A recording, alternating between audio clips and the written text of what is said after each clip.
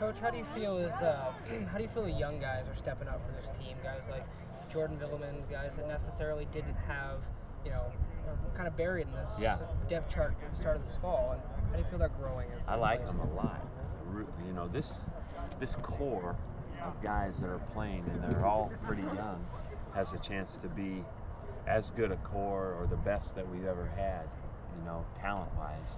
I'm talking about the group. You know, that you know, it's, it's when we've had individuals like Brandon and Marcus and all that. Now the Marcus Brandon duo was pretty good, but uh, you know, this group, you know, five six guys, is, it's pretty deep and pretty talented. So uh, I'm I'm encouraged about that, and uh, looking forward to them growing Saturday.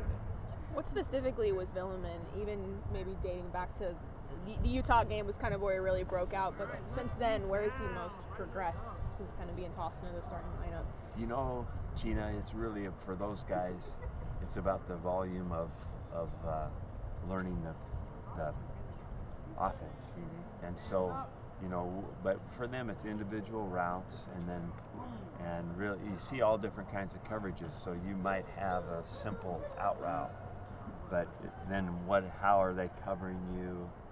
You know, there's there's a there's probably five or six different kinds of defensive either coverages or techniques in coverage, and you have to be good at uh, beating all those techniques and being in good timing with the quarterback still. So, you know, it's a it's frankly a never-ending process of playing fast and being correct and having good timing. It's kind of fun.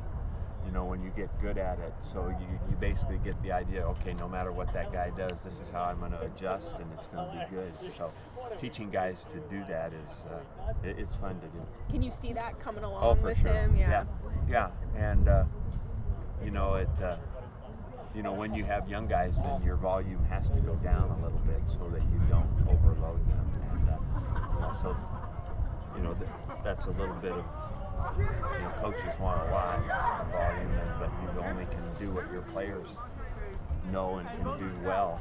You know in the games. You mentioned yesterday that Washington State has a very salty, as you said, Yeah. defensive front. Can you talk about that a little bit more? Yeah, you know they are they're good, uh, very stout, and uh, I think they're quick, quick inside. They do some really uh, good things defensively. That I think that they're you know we're gonna have to do a good job of blocking them, and and, uh, and then.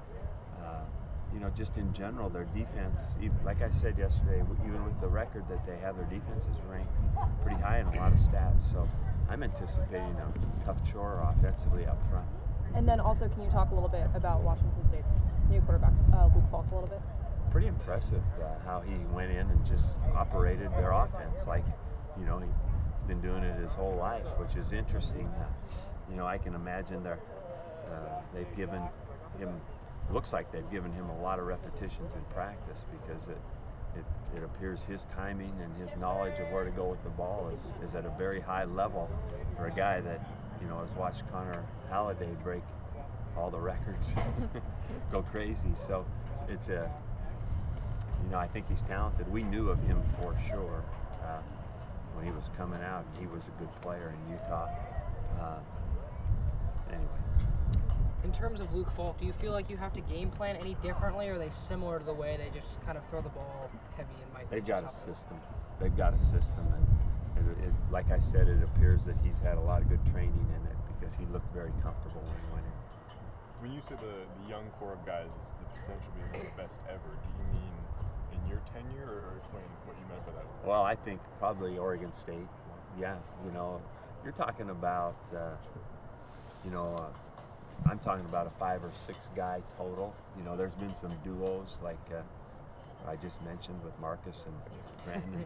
you know, uh, and then uh, and then you go back with you know Chad Johnson and TJ. You know, that's a pretty good duo too.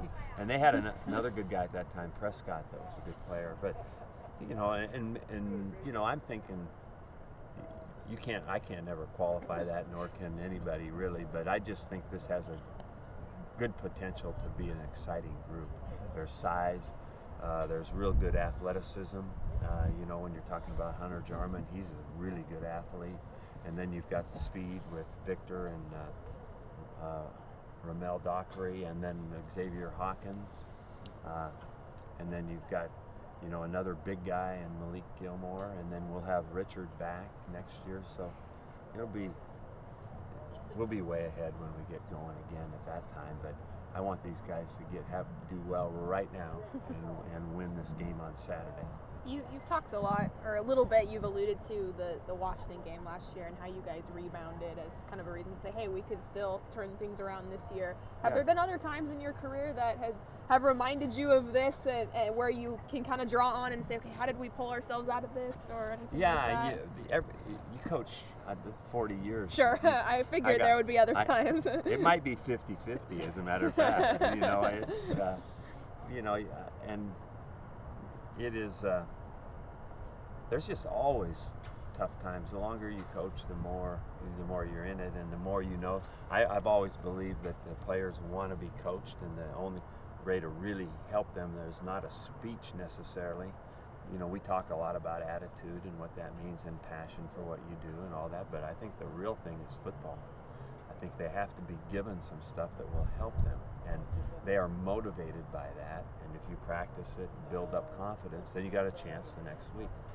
Uh, you know, I've I've gone from a Grey Cup to almost getting fired the next year to a Grey Cup.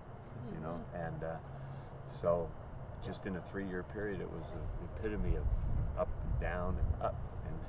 And so and it's kind of life in sports. The more you're in it, it just there's there's times like that. We want to make this more and more consistent, but obviously we're going to have to really fight and play well to make this one of those years uh, that is more of an up year than not. And uh, and I, and I like this team. You know, it's not like the world has ended. We played a Cal team that lost to UCLA 36 to 34 into Arizona on a Hail Mary play. So whoever assumed they weren't a good team was wrong. Uh, and and then we lost when we were to a Utah team in double overtime. Both teams we had fourth quarter leads. That's what we have to learn to do is finish, play our best football when it counts down the stretch. We're six and two, and everybody's thinking pretty good things, but that's not the way it is. We didn't make those plays, so we got to teach these guys to get better and better. Um, in your tenure, you've always kind of had a way of being able to finish seasons strong. Kind of go back a few years ago, you're able to win like like five out of your last 6 Mhm. or whatever. Is there a key that like Just you keep have teaching. to Just- have your players get better? No, just keep teaching. There's no magic to it. Uh, and uh, don't let coaches lose sight of what we're trying to do. Don't go crazy here. You know, just do your job, coach, teach, bring the kids. Just all those things I've been talking about. There's no magic to it. I don't. I don't think. I, I think that uh, they need level heads. They need somebody with a good plan, and they, they need to be taught. They're hungry for that. So that's that's what we continue to try to do. Frankly, you do that when you're winning too. Uh, but it, it it does take a little bit more work, uh, you know, as, as when it gets tougher.